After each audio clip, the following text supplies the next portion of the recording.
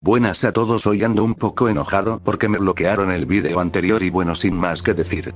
Pasemos con la introducción. Uno de mis temas de vídeos favoritos son le de las criaturas de la isla Calavera. Si bien los vídeos más populares son los de la mega fauna de King Kong 2005 y con Skull Land. Hoy hablaré de la isla original que salió en la película del 33. Antes de empezar con el video diré unas cosas. Tomaré solo en cuenta la película original y la del hijo de como una secuela bastante olvidada. Y también hablaré de las criaturas desechadas y uno que otro dato de su creación y de los conocimientos de esos animales en esas épocas. Y sin más que decir comencemos.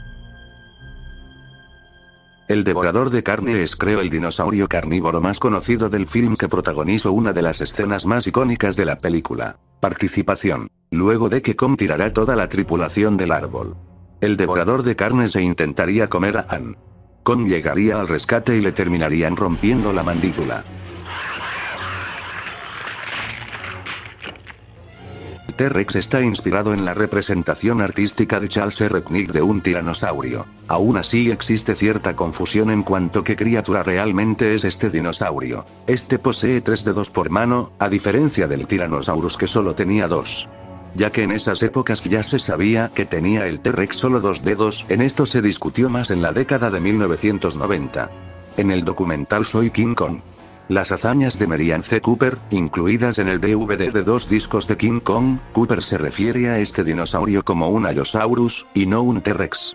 Pero en el mundo perdido 1925 sale un T-Rex con tres dedos.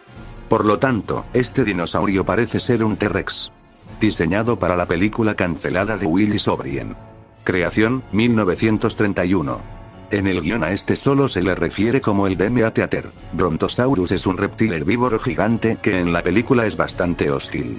Y muy territorial y atacará todo lo que vea a su camino. Algo muy diferente al Brontosaurus real.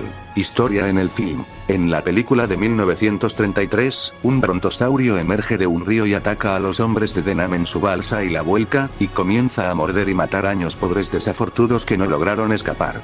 Luego llega a tierra y los persigue. Uno de los hombres trepa a un árbol, pero el brontosaurio lo arrebata y lo muerde y lo termina matando. En el hijo de Com aparece un reptil marino muy parecido al brontosaurio y mata a uno de los personajes de la cinta y cuadro empezó la destrucción de la Land. El reptil marino se puede ver. Como curiosidad es el brontosaurio de la película anterior solo con algunos cambios para parecer más acuático. Y también es la única criatura que no murió en la destrucción de la isla. El Stegosaurus de la Land es una criatura pacífica. Esta se vuelve muy agresiva si es atacado. Historia en la película. Denlam junto a sus hombres se encuentran con la criatura esta le lanzan una bomba de humo. La criatura empieza a atacarlos pero es debilitada por las bombas de humo. El equipo solo tuvo que dispararle varias veces para derribarlo y también esquivar sus ataques. Este terminaría muriendo después de un tiro en la cabeza. El Styracosaurus se muestra como una criatura bastante hostil en la película. Este fue eliminado del producto final y la escena está perdida. En la cual los marineros son acorralados por el Styracosaurus. Uno termina siendo asesinado. Y llegan al tronco roto donde el Styracosaurus los acorrala y no solo eso, también con. La escena fue reconstruida por Peter Jackson y está en el Blu-ray de la película. Sin embargo, la criatura se usó en el hijo de Com donde ahorrala a nuestros protagonistas a un pequeño lugar. Y después de un rato se marcha. Dáctilo es un depredador volador no dinosaurio de la isla Calavera. Historia en la película. Un pterodáctilo intenta secuestrar a Anne pero Com la salva. Con empieza a pelear con y lo mata. Y después procede a morderlo y a comérselo.